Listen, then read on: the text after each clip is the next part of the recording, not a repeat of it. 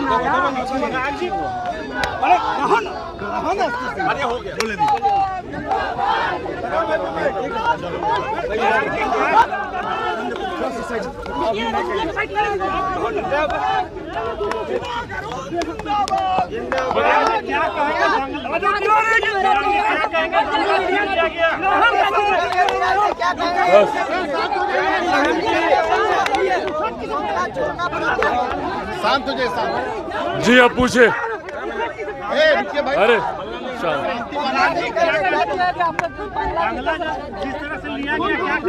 देखिए भाई मैं चिराग हूँ और चिराग का अपना कोई ठिकाना नहीं होता पर वो जहाँ जाता है रोशनी फैलाता है। मेरी लड़ाई भाई जब मैंने ये संकल्प लिया था जिस दिन मेरे पिताजी अस्पताल में थे और उनका निधन हुआ, मेरे लिए सबसे आसान परिस्थिति थी उस वक्त कि मैं मौजूदा शक्तियों के सामने नतमस्तक होता, अपने सिद्धांतों से समझौता करता, मेरे पिताजी के विचारों को मिट्टी में रौन देता और उसके बाद दुनिया भर की ऐशो आराम, सुख सुविधाएँ, सहूलियतें मुझे परोस कर दी जाती।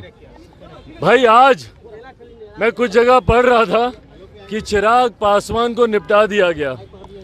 भाई, चिराग पासवान ने खुद संघर्ष का रास्ता चुना है।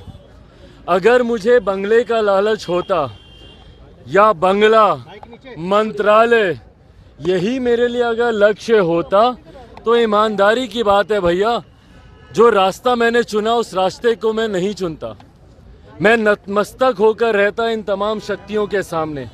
और हर उस सुख सुविधाओं का, ऐशो आराम का, मैं लाभ उठाता जो बदले में मुझे दी जानी थी। खैर, अभी बातें खुलेंगी तो बहुत दूर तक जाएँगी। बताने की ज़रूरत नहीं है कि मुझे मुझे व्यक्तिगत तौर पर क्या क्या लालच तमाम बड़ी शक्तियों के द्वारा नहीं दिए गए।